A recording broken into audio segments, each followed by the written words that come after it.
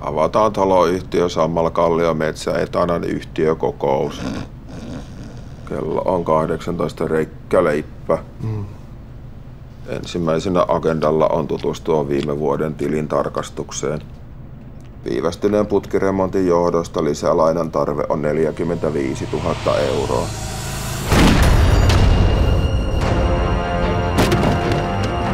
So Raimo, where's the money? Where's the fucking money?